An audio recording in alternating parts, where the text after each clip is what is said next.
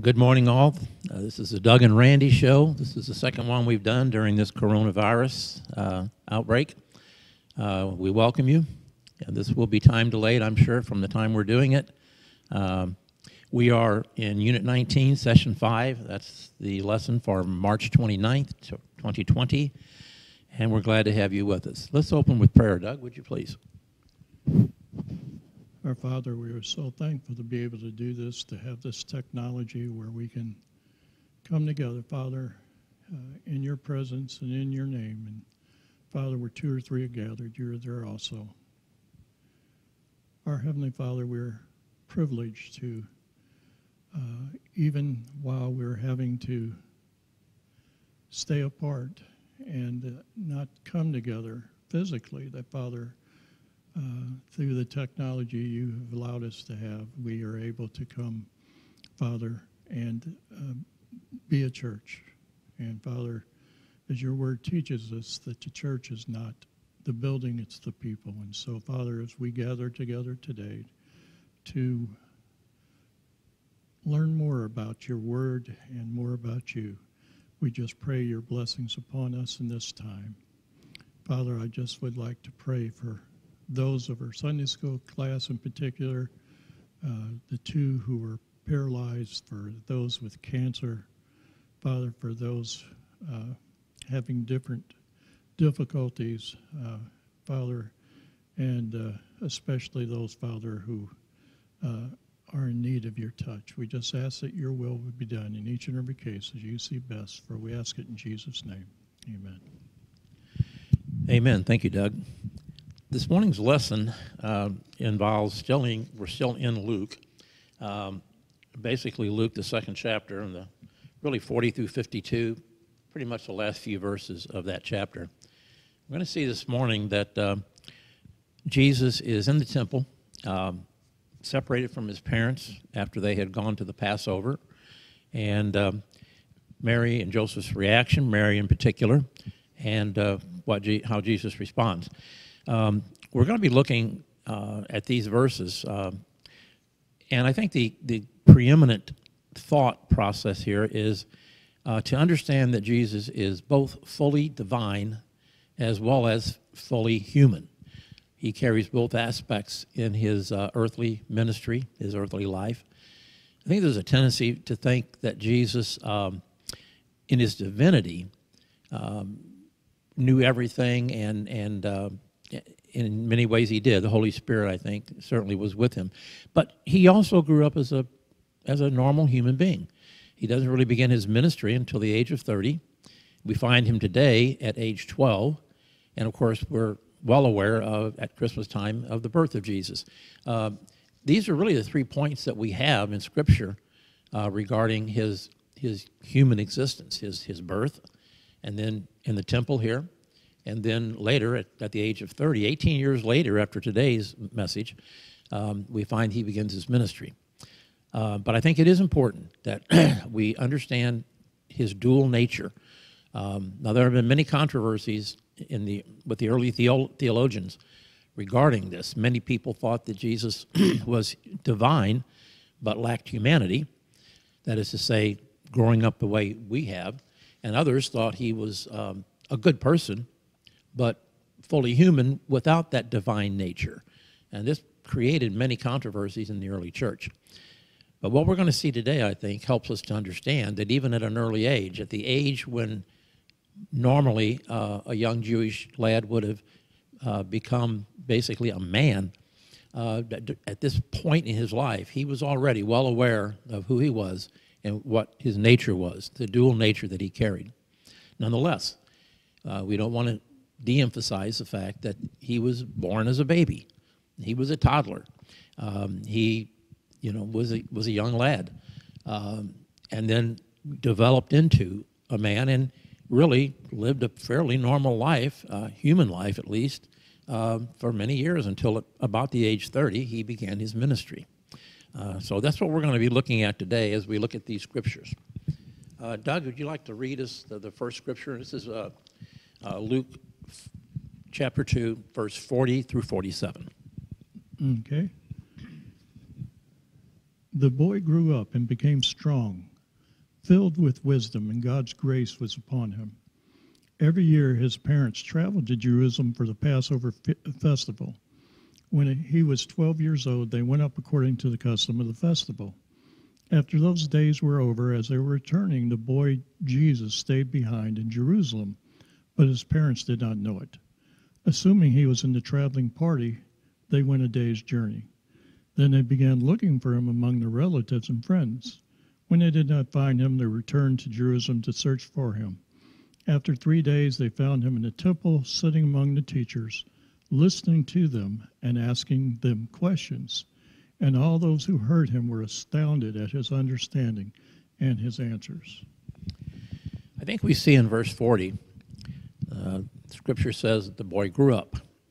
Uh, that is to say, he, he matured um, as we would expect any human being to. He became strong. Now remember, he was a carpenter's son, and probably himself was a carpenter. Generally, uh, youngsters followed in the footsteps of their parents, uh, particularly the, the father. But it also says that he was filled with wisdom and God's grace was on him.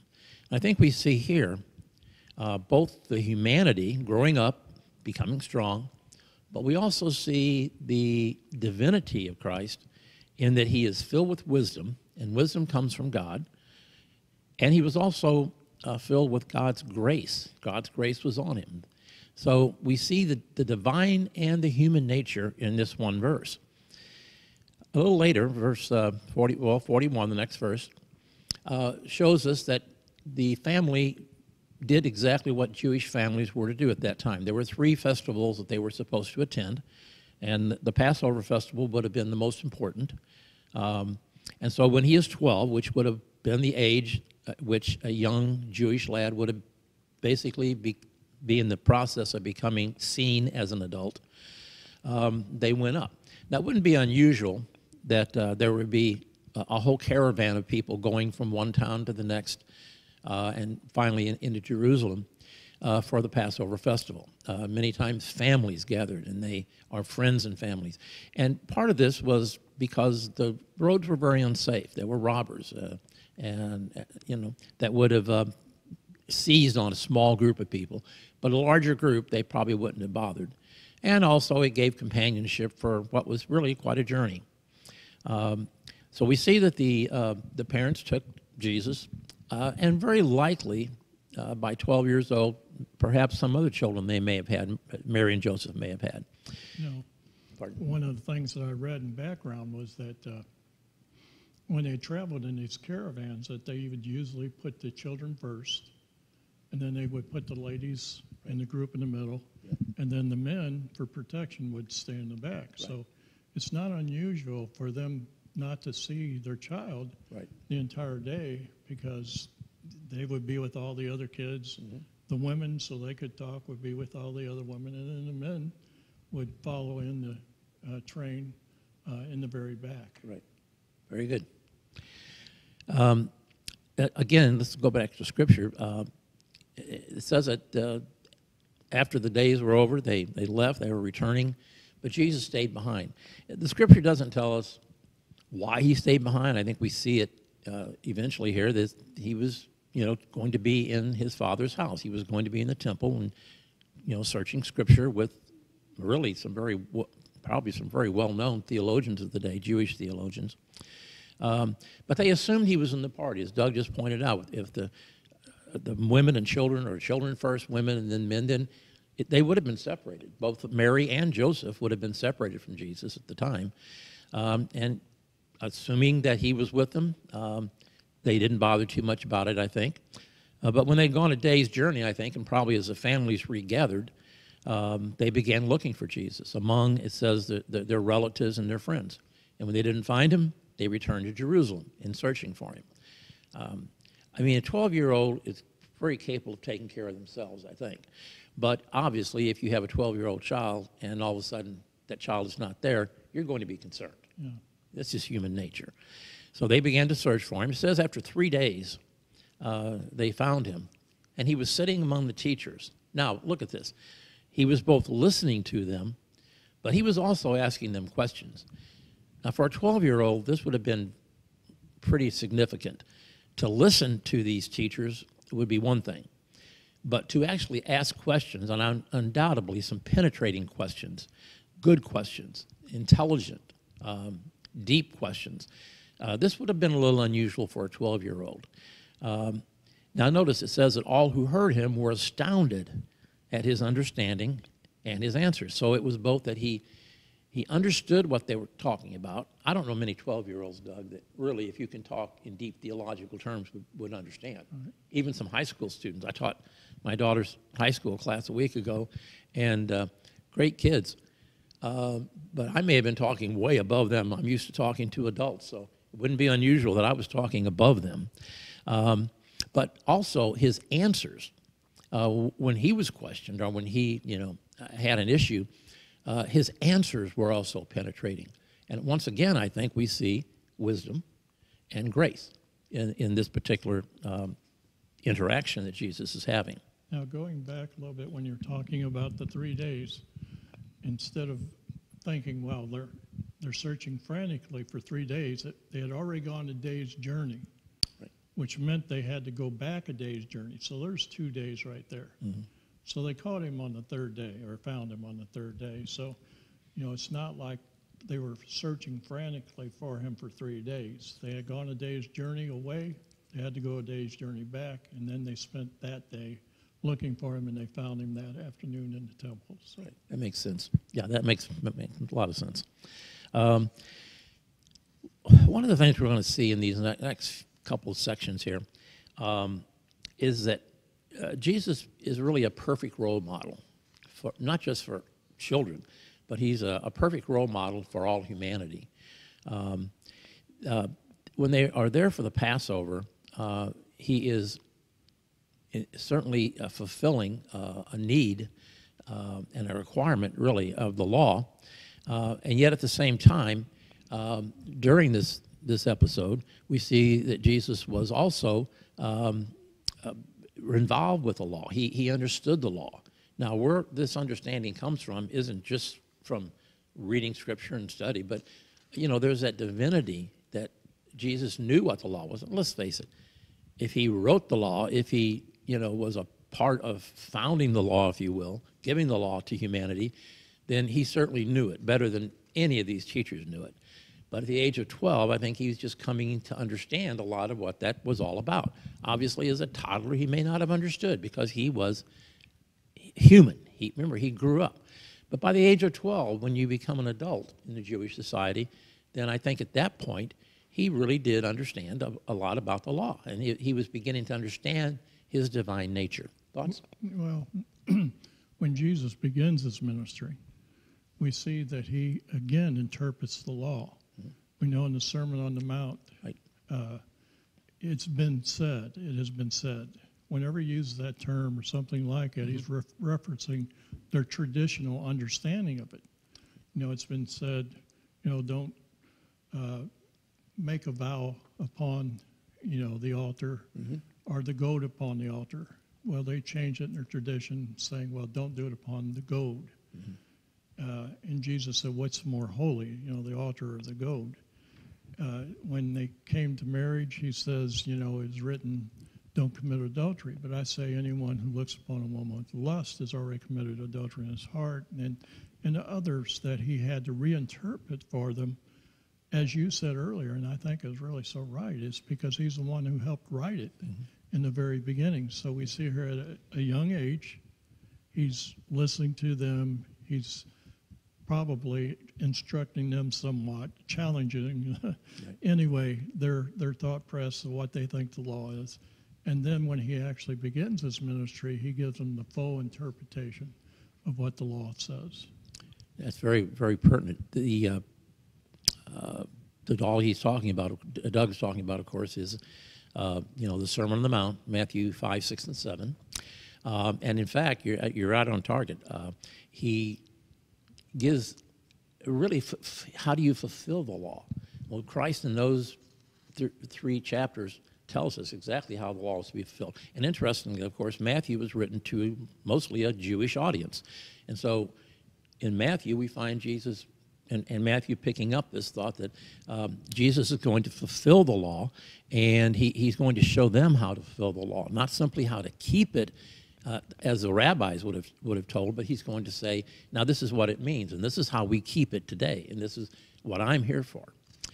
Um, you know, the, the, Passover was a time for the Jews to be thankful for what God had done for them uh, for centuries, but also a time to, to remember um, the goodness that God had, had, had given to them. Um, other thoughts or comments, Doug? Well, when we come to the New Testament, we see Paul saying over and over again that uh, our paschal lamb has been sacrificed. Mm-hmm. Uh, 1 Corinthians 5 7 says, and I wrote it down Christ, our Passover lamb, has been sacrificed. It's interesting here, he's going up every year to celebrate the Passover. Which is actually ultimately going to be fulfilled when he makes his sacrifice upon the cross. Right.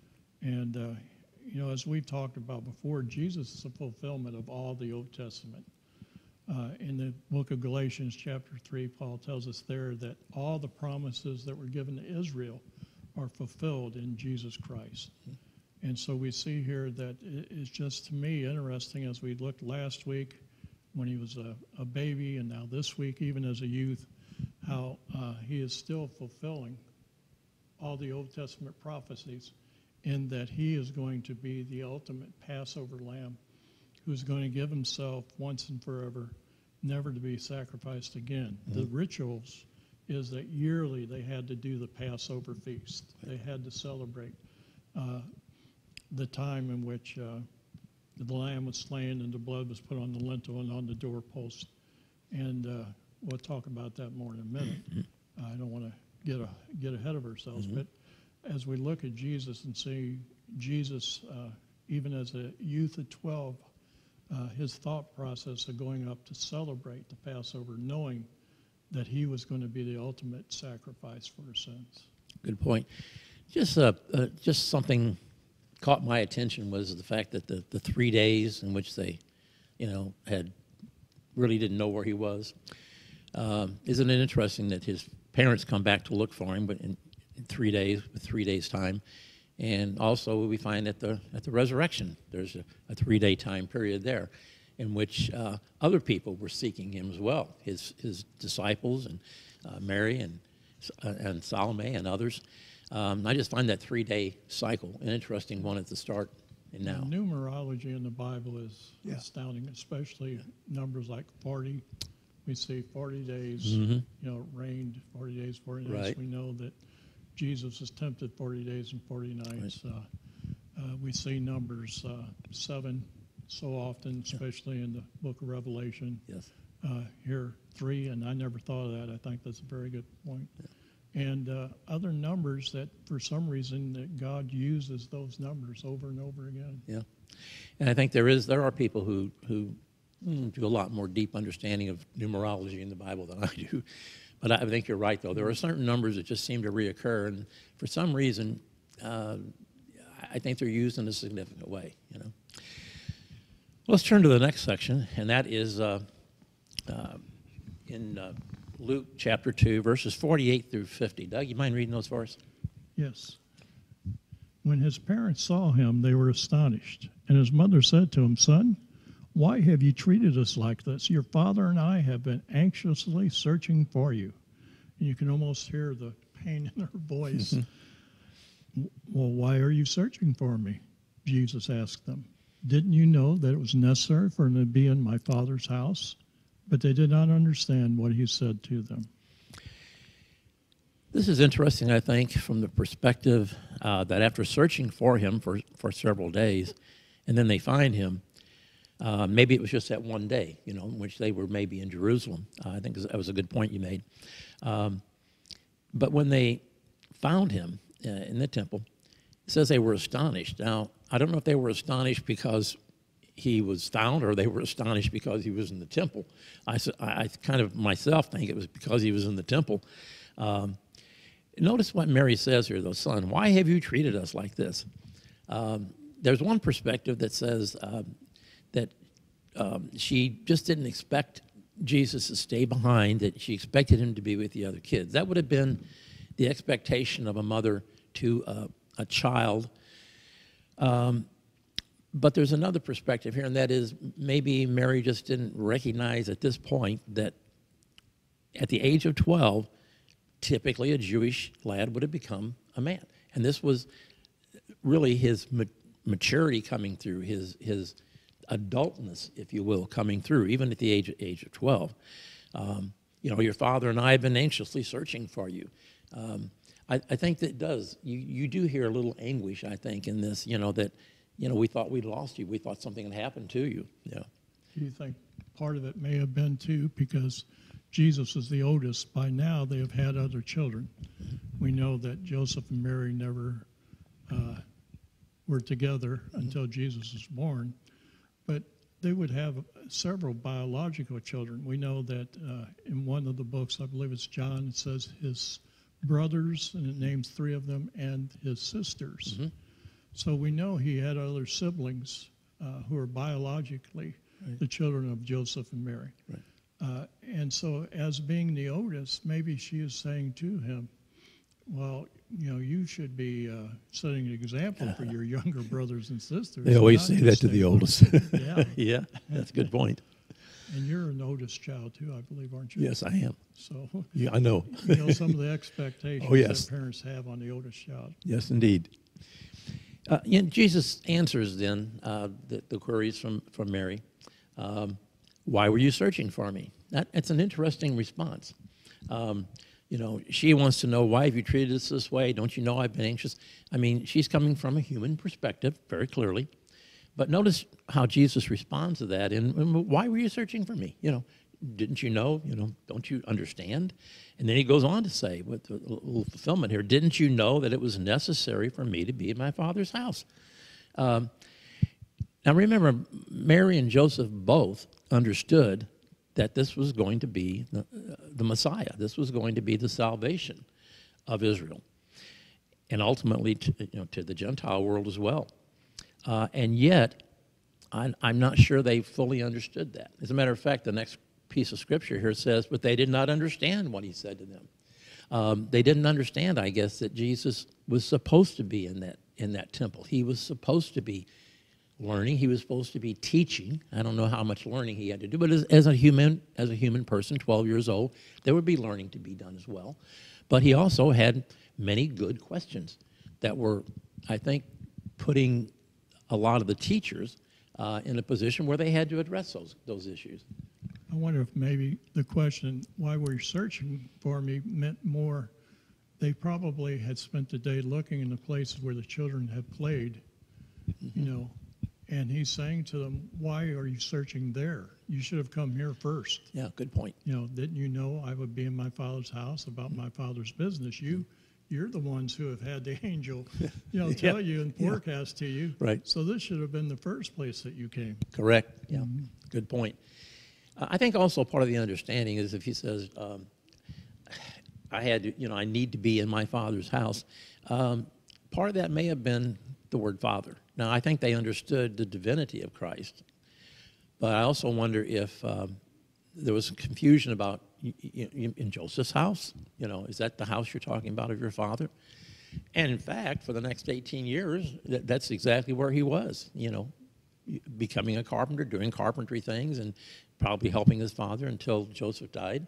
Um, but I, this may have been part of the misunderstanding. Uh, that, that they couldn't necessarily separate the human part of Jesus from the divine part of Jesus, which they understood, I think, was supposed to come, but maybe they didn't under, think it was going to come at 12 years old. I think that may be the point, and that is that, you know, knowing that he was going to be, you know, the savior of the world, they thought would happen later on in adulthood. And so, you know, at this time, I think they expected more just being a kid, Right. you know, more, more doing the childish things and being like their other children. Right. And yet he's not. Even at the age of 12 now, he, we see that he has an understanding of whom he is and what he's supposed to be doing. There are, our, our lesson authors point out two things in this particular passage. Um, incidentally, uh, I didn't realize this at the time, but uh, these are the first words from Christ in Luke's, Luke's gospel, the first time Jesus really speaks. Uh, but when he speaks, he is speaking about his identity, you know, who he was, not just, not just Mary and Joseph's child, but that he had a divine nature. And that was his real identity was with the Father, in, in Father God. But also they point out that there's a focus here from Jesus on what his mission is. Uh, his mission was to be in the temple, to be in his father's house, um, sharing what he know, what he knew, and also trying to understand, I think, where other people were coming from, but also what he needed to be doing. So his, his identity, we see in these, these scriptures his identity being shown, but we also see that he's speaking to his mission as well.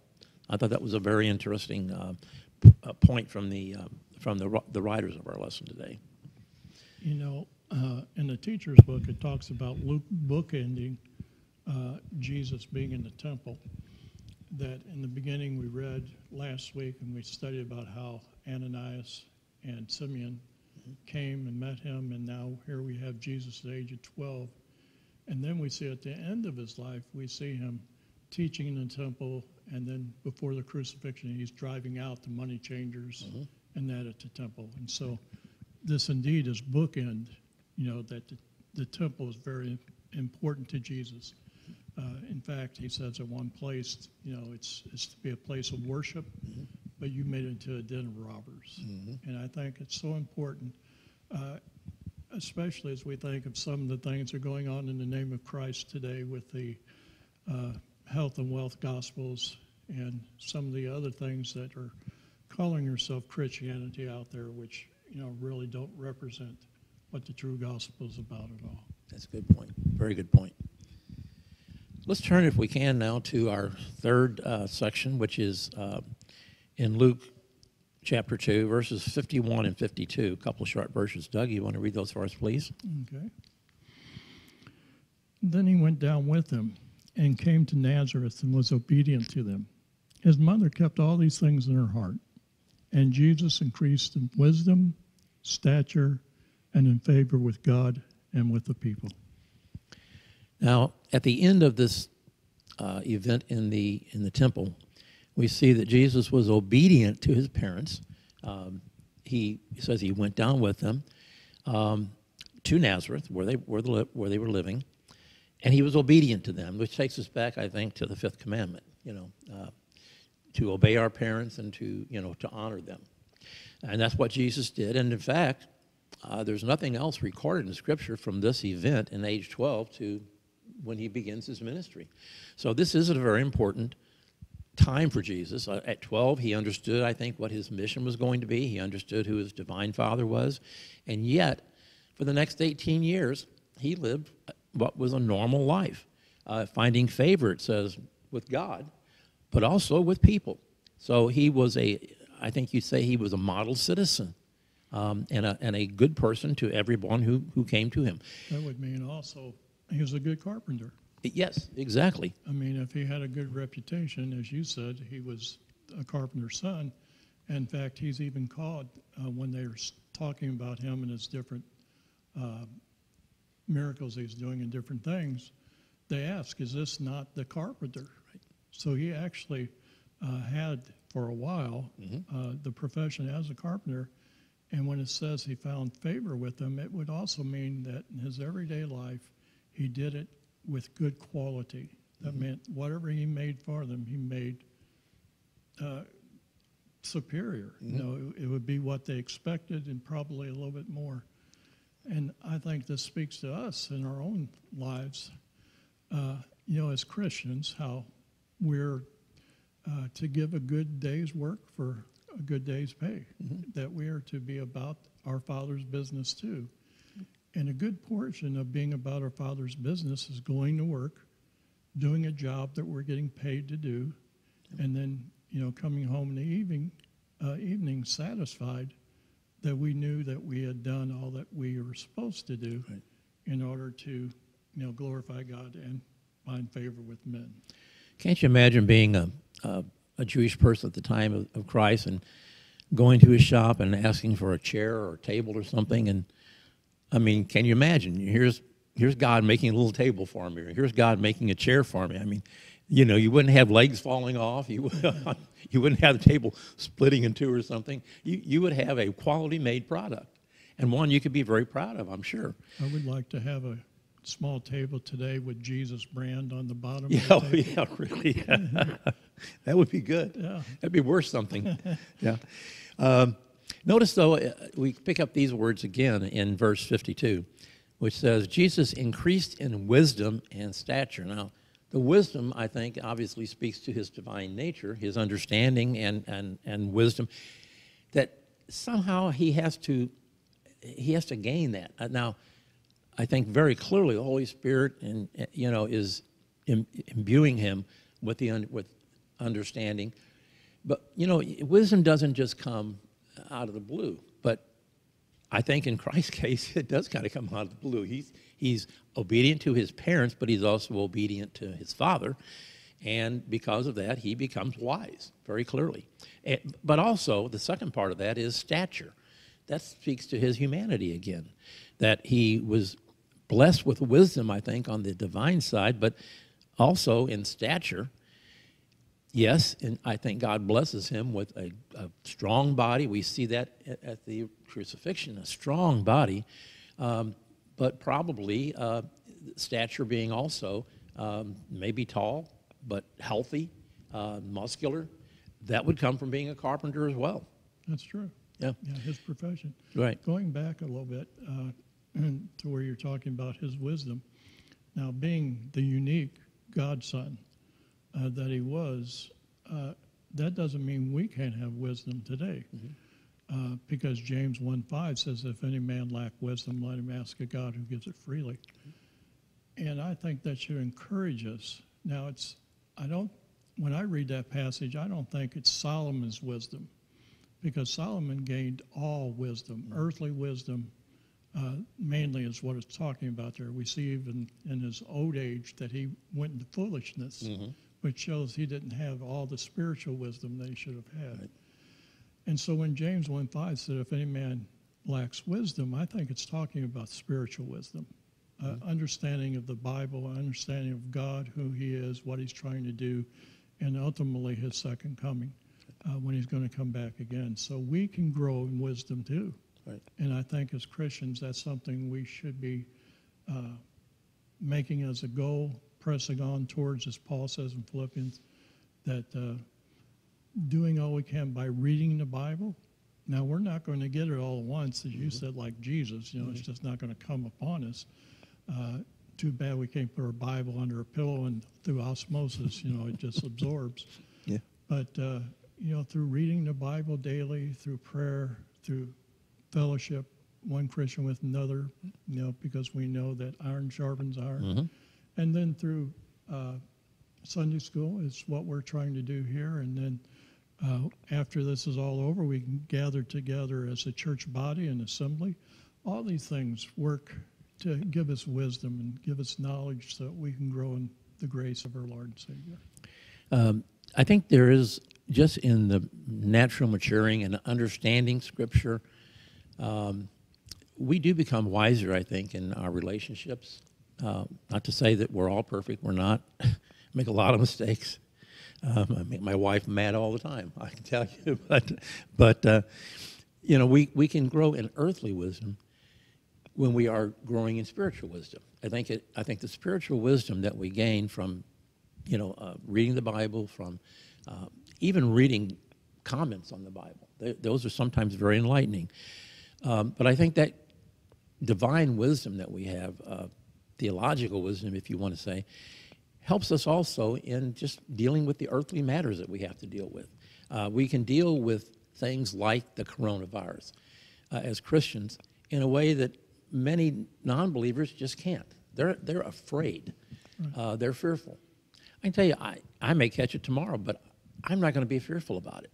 You know, after four years of kidney disease, my wife and I just we just weren't fearful. We never had any fear. Uh, we just it was in God's hands, and whatever was going to happen was going to happen. That's the attitude uh, I think that comes with um, with spiritual wisdom. Know, that's And- having a high view of God. Yes. You know, if we believe first and foremost that God is sovereign, and I believe this is where you know it all starts, and that is with God being in control of all things. Then, if He wants us to die, we're going to die, and there's nothing we can stop it. If He wants us to live, and we're going to live, and no one can stop that either. And, and so, ultimately, it's up to God, and and there shouldn't be any fear, except for fear of the Lord. Right. You know, remember uh, Jesus saying, "Don't fear him who can kill the body and do no more, but fear him who can take body and soul and cast into hell." Uh, God is the only one who can do that. And so, as believers who put their faith in Jesus, the Savior and Lord, we know that we are safe in Christ. That is, our souls are safe with Him, and then ultimately, when we die, we go to be with the Lord. But at the same time, it means we are safe in our human bodies too, because we know we have God's sovereign uh, Holy Spirit watching over us and protecting us too. And again, that that's an earthly wisdom that is spiritual in nature. Without the spiritual wisdom, would we be more like pagans, if you will, unsaved? Would we be more fearful? I think we would be. I mean, when you stop to think about it, if if uh, if you have no faith um, in something, you're always going to be fearful of everything. If you have faith in Christ, uh, you have no reason to be to be fearful of anything.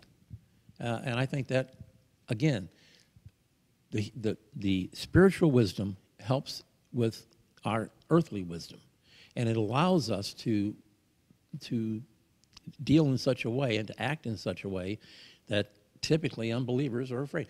I'm sorry, but I'm not going to go out and buy every roll of toilet paper I can find. I'm not going to clean the shelf of alcohol, you know, so I can make my own hand sanitizer. I, we're just not going to do that. You, you take care of the, the needs of the day, and, you know, God will take care of, of our needs tomorrow. That's right. You know, uh, but I think as non-Christians, uh, this fear leads them into a panic mode, and um, again, I think we should take every disease seriously. I took my kidney disease very seriously. We, you know, Donna hooked me up over a thousand nights so I could, you know, so I could continue to live. Um, there are other people who, you know, help me as well. But we should not be fearful of those things. If we have a God centered uh, mindset, we should never fear whatever it is that we're going to be facing out there. And if you don't have that spiritual mindset and, and, devotion to Christ, and, then you're, you're going to be afraid of everything. And that's just really so unfortunate when I see people just fearful or, or taking advantage of the situation. Uh, those are just not Christian attitudes. Right. Yeah, we as Christians should be giving an example. Like we should not be hoarding Right. during this time and, and show our faith in God and uh, being an example to other people so that they can see Christ in us. That, you know, we are to be those who show that uh, what's really important and that we believe that God is truly sovereign in our lives. Right. And again, we show that sovereignty, you know, in, in our daily walk. Uh, you know, Jesus, um, as Jesus was growing, I think very clearly he was growing in wisdom. He was growing physically, um, and we we see, you know, in favoring, becoming in favor with God and with people, that he was also socially um, growing, maturing. It's interesting, I think, to think that as a carpenter, he was finding favor with people. Even as he began his ministry, there were many who were finding favor uh, with him. But at the end, how many people really, you know, saw him in a favorable light? They wanted to crucify him, you know, give us the thief, but, you know, get this guy out of here.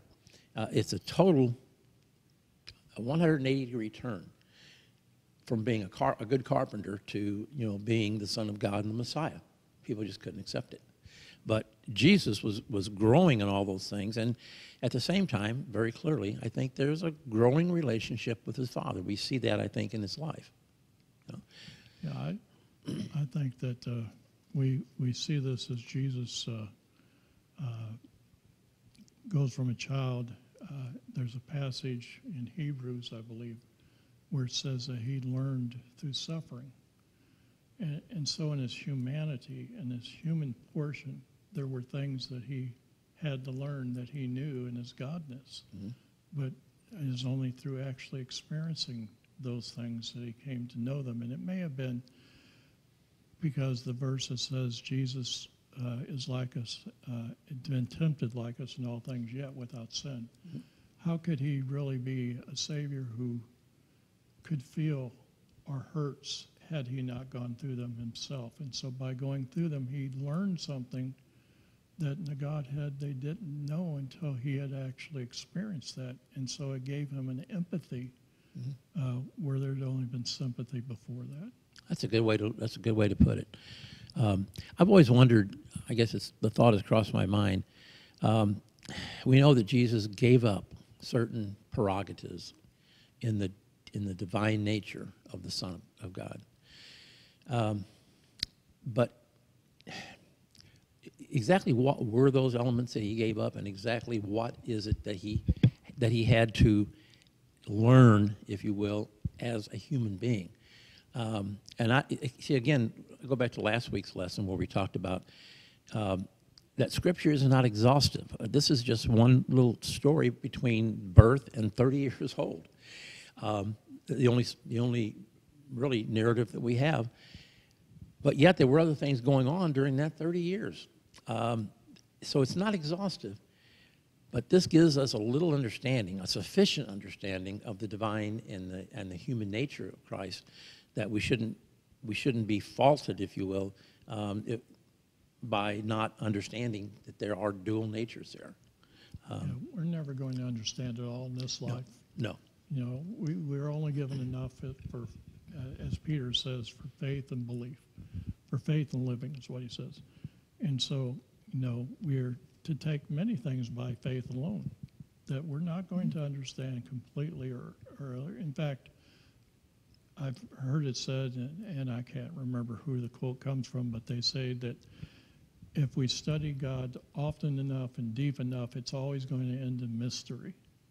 And that's because God is so far beyond us, you know, that we're never going to understand everything uh, that He had to uh, say to us through His Word. We only got a minute or two now. Right.